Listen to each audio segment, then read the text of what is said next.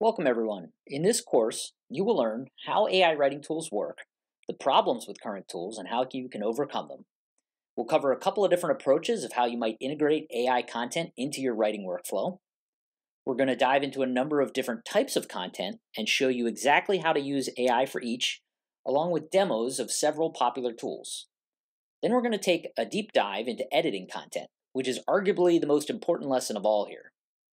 We'll look at how AI content detection works and how to avoid it. And then we'll do a deep dive walkthrough showing all the functionality of several of the top AI tools. And finally, we'll provide a cheat sheet to show you which AI writing tools are the best for different types of content, along with a few exclusive discounts. Let's get started. So, who are we and why are we qualified to talk about AI writing tools? Well, we're a team of professional writers, editors, and content strategists so we know our stuff about content production. We operate our own portfolio of about a dozen content websites, and we run a marketing agency. My name is Geoff Cudd, and I'm the creator of the Don't Do It Yourself website. I'll be one of your instructors, along with my senior editor, Ashley Hernandez. I'll cover the concepts and approach, while Ashley will demonstrate exactly how to use several AI writing tools. When these tools first started hitting the market, we spent months testing all the top providers and we learned the good, the bad, and the ugly. We were surprised to find the learning curve was fairly steep for a few of the more popular ones. And when we tried to find some training, the only videos available were specific to a single tool and really only showed you how to click buttons and generate blocks of text, but not much else. That's why I created this course to help teach you how to incorporate AI content into your business, regardless of which tool you use. We personally use AI to help speed up our content production and reduce cost, but we still focus on original editorial input and high quality output. We don't replace our writers with AI, it just helps them become more productive and it can help you too. So, why use AI writing tools in the first place? Well, you can reduce your writing time down to minutes or seconds instead of hours. Time will vary depending on the tool you use, but we'll share our picks of different tools for different content types. And similar to that, you can drastically improve your writing output. Depending on your tools and content workflow, you can see exponential increases. We manage a portfolio of websites ourselves, and we recently went from about 20 posts a month to almost six times that. We could scale even further, but we do still incorporate a lot of editing and quality checks into our workflow. More on that in depth later. Now, it may seem counterintuitive, but you can become a better writer with grammar, spelling, and tone. I personally find it much easier to edit than to write from scratch. Not to mention, it's an easy way to overcome writer's block. And finally, you can dramatically reduce your cost for content. We're able to cut our own internal cost down by almost 75% without sacrificing quality. Let's take a look at an example. An average blog post might be around 1,500 words, and your average human writer might be about 7 cents per word in terms of cost. Compare that to an AI tool, which does vary based on the type of tool that you're using, but let's use an average of one cent per word, which is a fraction of the cost of the human writer. The time it takes to produce that content is also a fraction of the cost. A well researched blog post might take about three hours. Um, it could go up to four or five or, or even longer, depending on how much research but an AI written post can be generated in seconds in some cases. And, you know, if you're iterating using the tool, maybe let's say five minutes. But either way, it's a big time savings. And then in terms of editing, we recommend actually using a, an editor, whether you're using a human writer or an AI tool, and so, on average, we came up with about uh, one cent per word as a good rate. Normally, editors will charge by the hour, but uh, for purposes of this equation, we're just going to boil it down to a cost per word. And when we multiply those together, we come up with a total cost for human written content of about $120 per, per well researched blog post. Whereas an AI written post with editing costs about $30, which is 25% of the cost in a fraction of the time. So you can see that there's a huge savings there. So, how the heck do AI writing tools work? Well, simply put, an AI writing tool is software that uses artificial intelligence to generate content like a blog post, product description, or even a story.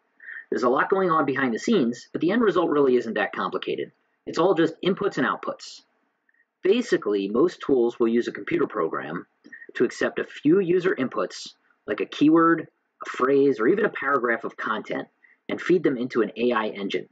The tool will use something called natural language processing to help the engine understand those inputs and what the user is actually looking for.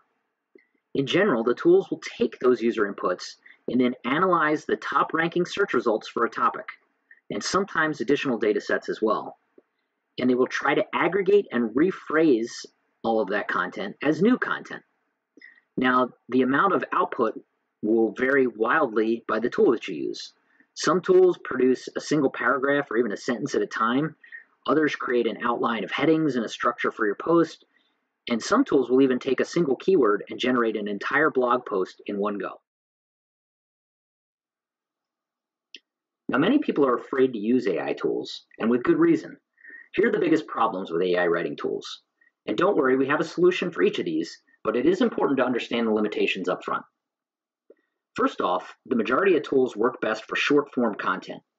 They only let you generate a paragraph at a time unless you want to sacrifice quality. Most won't cut it for long form blog posts and work better for things like product descriptions or social media ads. Although we have found a great tool for long form content, which we will show you later. Number two is that you have to become a trained operator in order to use the tools. Most of them are just not intuitive and can't be used without written procedures or documentation. There are some exceptions, but overall, that's what this, this course is for.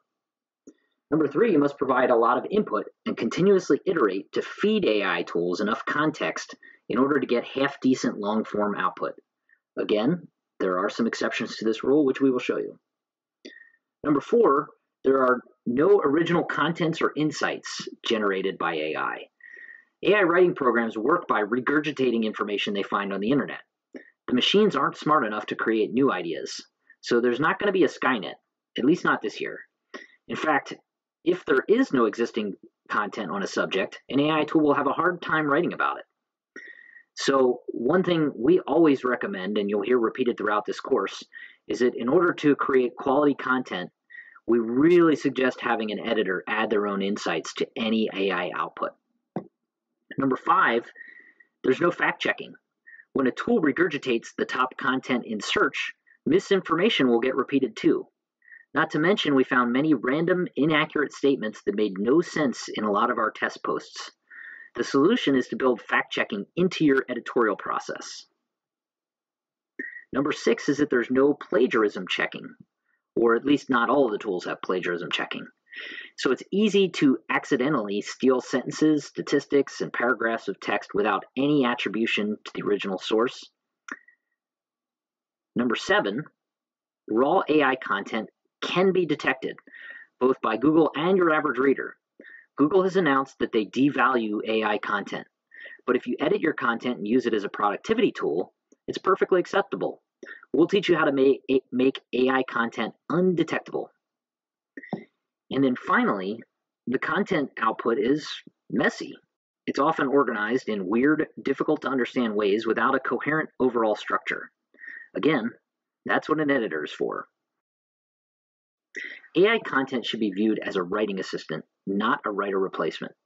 So, the key concepts that we're going to cover in this course are that you need to use the right tool for the right content type. You need to prepare your inputs carefully in advance before using the tool. And then editing is critical. You really need to spend time after AI content is generated for wording, the flow and sequence of your content, fact checking, and plagiarism checking.